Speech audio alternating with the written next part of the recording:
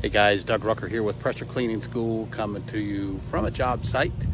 Uh, hey, my passion is helping you guys that are new to this industry uh, master this industry. So, um, got five tips to help you win your day. This is Wednesdays with Doug.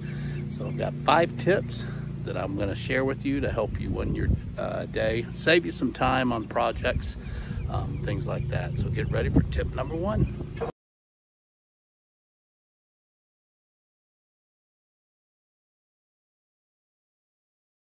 Tip number one whenever first thing when you get to the job i always knock on the door and ask the customer if they need to leave while we're working. If so they need to get their car out of the driveway and put it on the street just like this customer did for us. Then what i like to do is to block the driveway so the ups or anybody else any friends neighbors whatever don't pull into the driveway and pull over my hose. So I always blocked the driveway.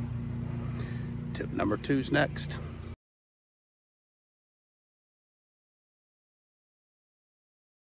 All right, tip number two, as soon as you've got your rig parked, you've blocked off the driveway, the customers move the car, get your water hose rolled out and start filling the tank.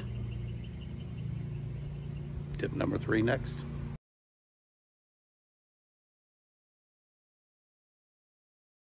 Okay guys, tip number three, while your water is filling, that's a good time to walk around the house and start doing your property protection. Note any plants that you're gonna have to protect or cover. Um, any electrical outlets, ceiling fans, barbecue grills, uh, always move their furniture for them. That's the way we do it. We don't upcharge for that. The reason we do that is it just saves us time because we can move it to where it needs to be so it's not in our way. Oftentimes if customers move that stuff, they just set it like from right here to right there in the grass and that's in my way.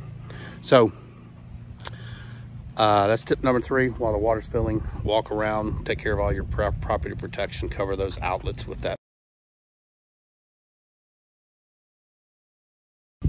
Here's a bonus tip for you when filming a video. Put your phone on airplane mode so if somebody calls you, it doesn't shut your video off. But again, back to tip number three. Yeah, just go around while that water's filling up in that tank and get all your property protection done. Uh, tape off the doorways, tape off uh, you know, the thresholds, things I've gone over before, uh, electrical outlets, all of that. Tip number four is next.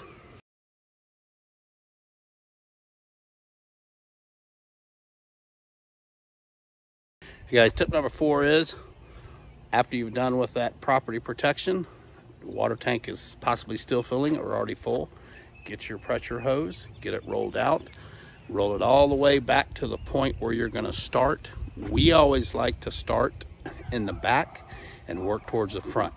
So for instance, on this job, we're all completed. We've cleaned the house, we've cleaned the driveway, we've water fed pole cleaned the windows, and now we're rolling up.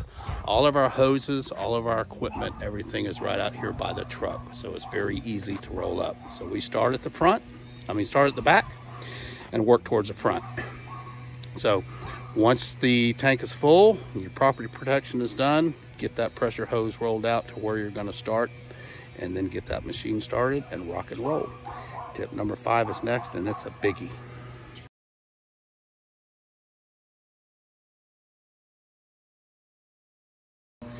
All right, tip number five is I always confirm the afternoon or the evening before the job to make sure, confirm that the customer knows we're coming and at what time we're gonna be there.